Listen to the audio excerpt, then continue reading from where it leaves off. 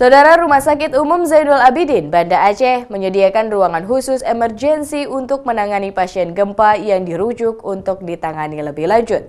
Minggu kemarin, dua pasien kembali dirujuk akibat patah tulang belakang.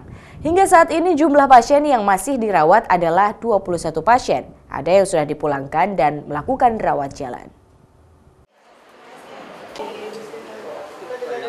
Pasca gempa Pidijaya, 23 pasien terpaksa dirujuk ke Banda Aceh untuk mendapatkan penanganan medis lebih lanjut.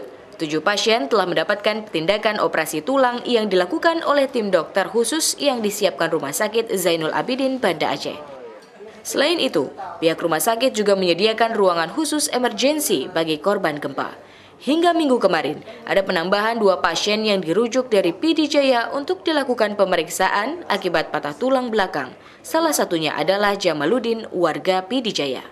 Sementara itu, dari 23 pasien gempa yang dirujuk, ada empat pasien yang diizinkan pulang dan rawat jalan.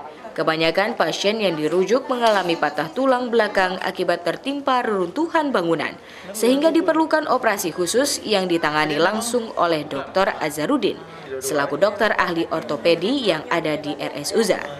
Hingga saat ini, kondisi pasien berangsur baik. Nova Misdayanti, Kompas TV, Banda Aceh.